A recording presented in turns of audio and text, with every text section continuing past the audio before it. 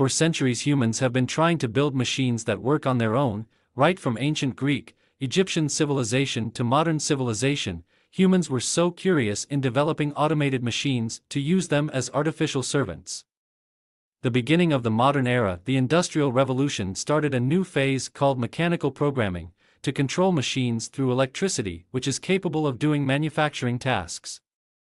And after that continuous discoveries like Lovelace's machine functions, Rhodes' programming language, Edison's talking doll and Tesla's tele-automation planted the seeds to modern robots and robotics. Today robotics becomes the engineering branch that deals with design, construction and operation of robots.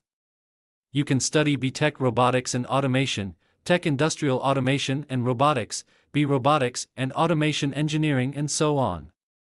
Colleges and institutes like IIT, Amity University, SRM Institute of Science and Technology, Manipal Institute of Technology, National Institute of Engineering, PSG College and so on. And lots of online certificate courses in STEM, robotics, AI, IoT etc. Through different MOOC platforms like Udemy, Coursera, Edureka and so on.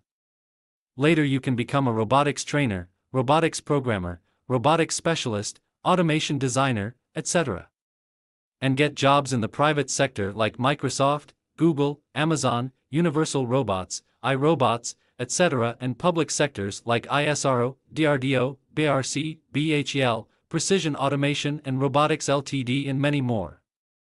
If you want more information related to your future career, follow us on Instagram, Facebook, Telegram, Twitter, and the Young Rush blog.